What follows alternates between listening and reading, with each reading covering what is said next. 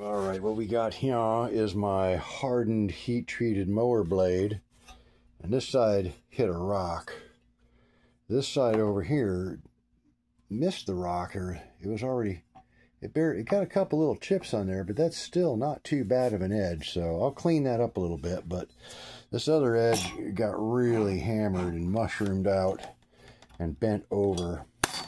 So I took my handy dandy little ball peen hammer and on my anvil, I hammered some of the bent up, mushroomed over edge back down. It's actually got a pretty good edge on there right now. You could probably just throw that back on there and start mowing, but it's missing a little bit of this bottom edge.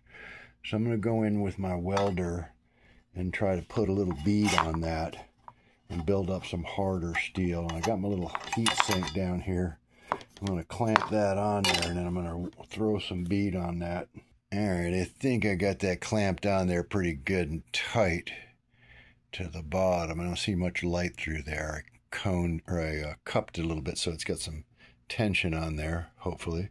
All right, well, it started out a little bit hot down here. Whoop, it started out kind of hot down there on that end.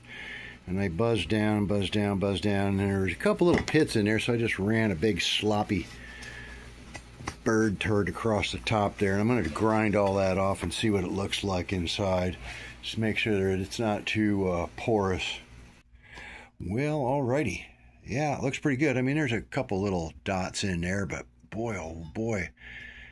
And I did grind, there was a lot of weld there to grind off, so it took me a little while, but uh, you can see how far back that weld is on there.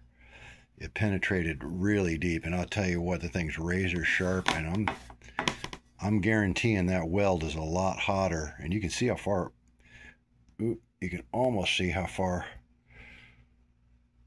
there, you can see how far it went in there. That's, that's all solid weld from there on out. And that's about where it was mushroomed over at. You can see I missed a tiny little bit there, but it's good enough. So we'll see how that works as far as uh, chipping or wear, but I'm pretty sure that's going to be a nice hard edge there. The other end, I uh, I dressed it up a little bit. Still not perfectly sharp. I think it did hit the rock a little bit.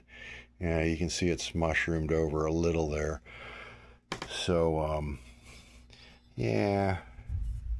It, oop, here's some thunder over there.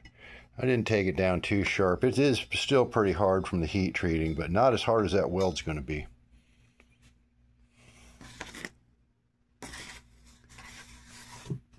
Cut